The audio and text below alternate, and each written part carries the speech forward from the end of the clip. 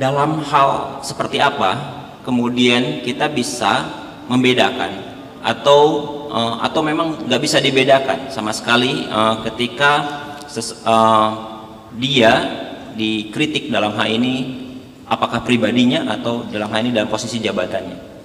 Setiap pejabat publik dia hanya punya tubuh publik. Gak ada tubuh privat pada pejabat publik, namanya pejabat publik tubuh publik dan tubuh privat itu menyatu kalau sistemnya kerajaan. Raja itu tubuh publiknya menyatu dengan tubuh privatnya. Karena itu menghina raja artinya menghina seseorang yang bernama Sultan Hamengkubuwono ke-70 misalnya.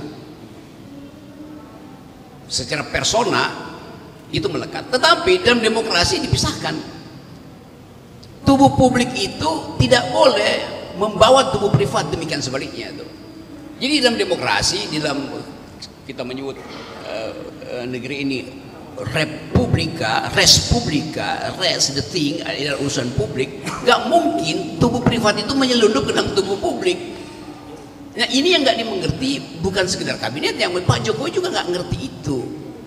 Jadi saya mau terangkan bahwa kehadiran Pak Jokowi sebagai presiden, sebagai kepala negara, apalagi itu harusnya memberi semacam public discourse bahwa nggak boleh ada pejabat yang tersinggung kalau dia dikritik dengan cara apa pun. Saya terganggu uh, kemanusiaan nggak ada. Anda itu lembaga, Anda itu fungsi. Sama seperti presiden, presiden adalah fungsi. Dia bukan dia bukan persona itu. Nah bagian ini yang memang tadi benar, secara awam kita masih hidup dalam alam kerajaan di mana tubuh publik menyatu dengan tubuh privat. Mengkritik pejabat publik memang tersinggung seluruh keluarganya itu. Apalagi kalau basernya ikut sebagai keluarga tersinggung semua itu kan. Jadi kedunguan itu yang mau saya batalkan berkali-kali bahwa kita nggak boleh mengaktifkan sentimen kalau kita berhadapan dengan pejabat publik. Demikian sebaliknya, pejabat publik harus menghormati rakyat dia nggak boleh mempidanakan rakyat. Yang boleh pidanakan rakyat itu orang. Jangan pejabat publik mempidanakan rakyat. Loh dia kita yang pilih kok bagaimana? Oke. Okay. Jadi secara etis batal ide tentang pertanggungjawaban pejabat publik. Justru karena feodalisme dan uh, apa namanya arogansi kekuasaan itu diucapkan berlebih sehingga publik merasa oh benar dong bahwa bapak itu nggak boleh dikritik. Padahal itu bapak yang kita pilih. Kalau dia kita pilih bisa kita turunkan. Saya mengajar bertahun-tahun metodologi dan ada logik itu dalam penelitian itu kan.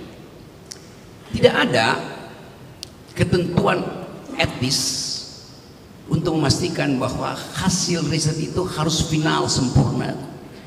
Kata riset sendiri, research artinya ongoing, in the making. Gak ada riset yang final. Sama seperti kebijakan Jokowi nggak ada yang final itu. Karena itu mau diteruskan oleh pemimpin yang berikut tuh, continuity segala macam. Jadi di dalam kata itu sendiri riset artinya belum final. Itu dasarnya. Karena itu akan ada orang yang mengkritik riset itu. Kalau risetnya udah final, dia berubah menjadi kitab suci. Itu bedanya antara hasil riset dan kitab suci. Kitab suci final tuh. Konstitusi kita konstitusi kita tidak final.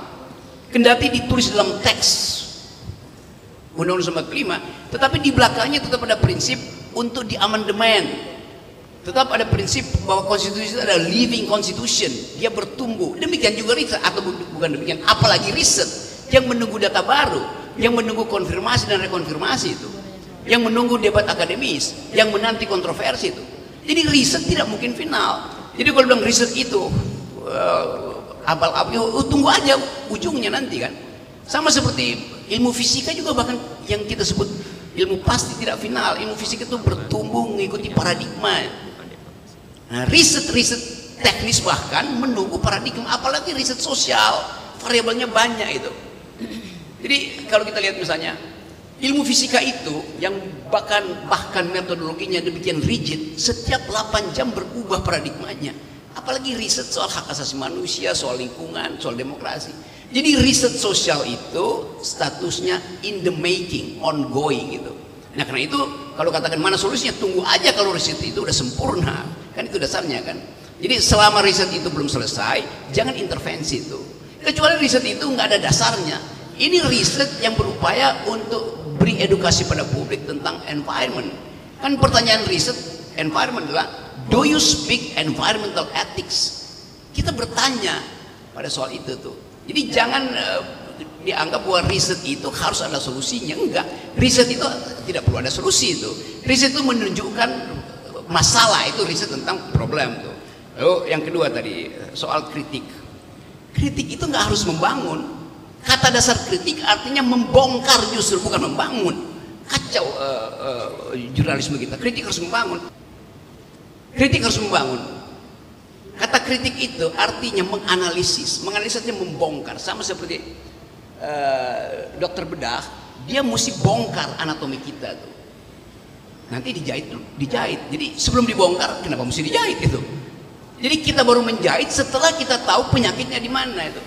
Jadi kita bisa kasih solusi nanti semacam uh, jalan keluar kalau kita udah selesai menganalisis masalah-masalah itu. Saya kira itu uh, perbandingannya